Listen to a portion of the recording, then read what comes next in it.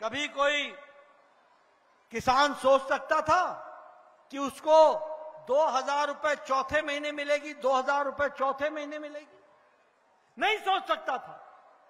लेकिन आज प्रधानमंत्री मोदी जी के नेतृत्व में 11 करोड़ किसान को दो हज़ार रुपए हर चौथे महीने उसके बैंक के खाते में जा रहा है और ढाई लाख करोड़ रुपए किसानों के खाते में मोदी जी ने पहुँचा दिया है, किसानों के खाते में पहुँचा दिया है।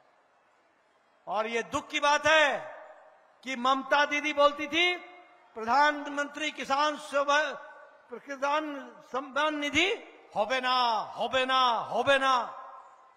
तीन साल तक आपको मिलने नहीं दिया। आज तीन साल के बाद आपको मिल रहा है।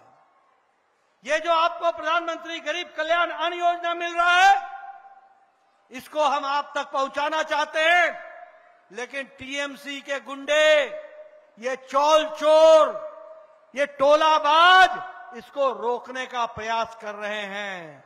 बोलो, ऐसे टोलाबाज को समाप्त करोगे ना? छुट्टी करोगे ना? ये चौल चोर को घर बैठाओगे ना?